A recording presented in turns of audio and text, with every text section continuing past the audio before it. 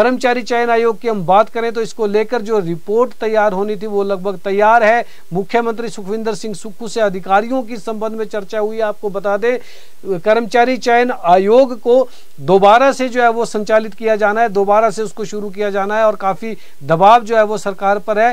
किस तरह से इसमें पारदर्शिता लाई जाएगी, इसको लेकर जो है वो सरकार काम कर रही है, इस पर रिपोर्ट जो है वो तैयार हो चुकी है और उस रिपोर्ट पर अधिकारियों के साथ मुख्यमंत्री ने की जो है वो चर्चा हुई है। तो भविष्य की योजना को लेकर सीएम को अधिकारियों ने जो है वो विस्तृत ब्यौरा इस संबंध में दिया है। किस तरह से पारदर्शिता लाएँगे, इसका पूरा इंतज़ाम जो है वो आने वाले समय में किया जाएगा। अप्रैल महीने से दोबारा से जो है वो इस कर्मचारी चयन आयोग को जो है वो शुरू किया जाना है। मुख्यमंत्री सुखविंदर सिंह सुक्खू ने पिछले दिनों ये संकेत दिए थे कि अप्रैल महीने में दोबारा से ये संचालित हो जाएगा और इसके माध्यम से यहाँ पर भर्तियों का सिलसिला जो है वो शुरू कर दिया जाएगा। टीचर की बम्पर भर्तियों से जुड़ी आपको देना चाहेंगे।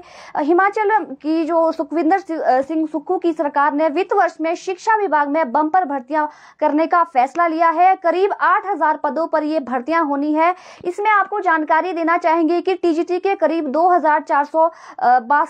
जेबीटी के 2500 पदों पर ये भर्तियाँ होनी है। इसके साथ ही ड्राइंग मास्टरों के दो सौ पचासी पद प्रदेश में भरे जाने हैं। और कुछ एक भर्तियाँ 2000 के करीब है जो हायर एजुकेशन में होनी है।